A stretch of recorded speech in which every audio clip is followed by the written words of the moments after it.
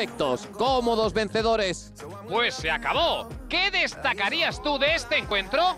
Boca Juniors tenía un mensaje claro, solo valía la victoria y es que estos partidos, estos derbis tan especiales, tan importantes, la clave no es jugar bien ni la forma, la clave es ganar, hay que ganar.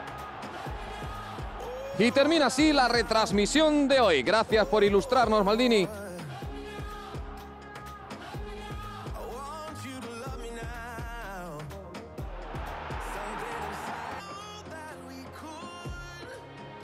to turn darkness into light, turn evil to good, even when we try so hard.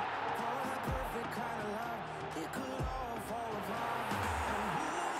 love me now? Oh, love me now. Oh, oh, love me now. Love me now. I don't know who's gonna kiss you when I'm gone. So I'm gonna love you now.